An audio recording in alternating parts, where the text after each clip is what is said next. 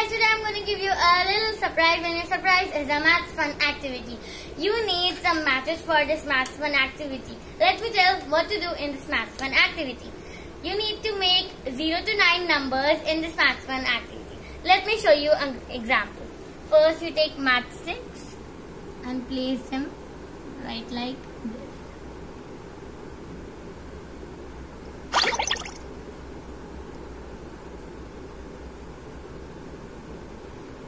I made a number 0 for all of you to give you the example. So we will make more numbers like 1 to uh, 1 to 9, 0 to 9 we have to make. So let's make.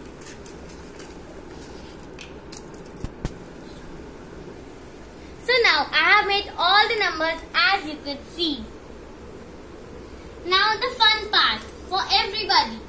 You have to take two matchsticks and place between two numbers like this. It's the sign of plus. Now you have to tell 2 plus 3 equals 2. It's the answer is 5. You have to point, point on 5. Thank, uh, thank you. Have fun in this activity. Don't forget to like my video, like this video, subscribe my channel. Bye